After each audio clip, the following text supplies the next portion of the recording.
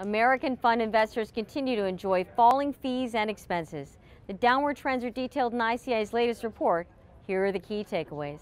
The asset weighted average expense ratio for equity funds was 55 basis points in 2018.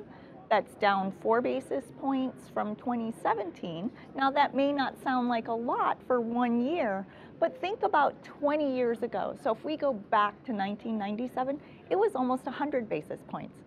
So this has really been a, a, long trend, a long move. Even in 2018, with a four basis point move down, it was coming from economies of scale. We have funds that are getting larger. That means fixed expenses are a smaller share of the assets. That brings down the expense ratio.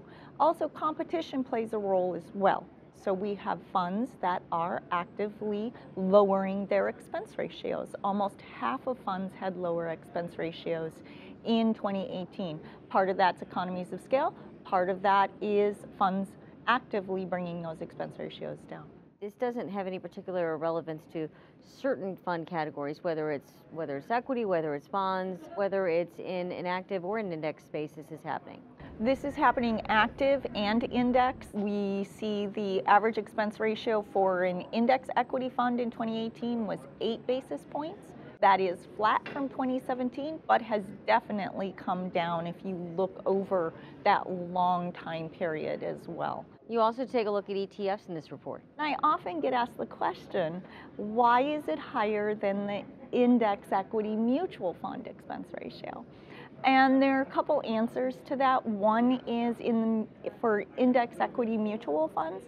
Those funds tend to be much larger, and so they've gotten the economies of scale to naturally have lower expense ratios.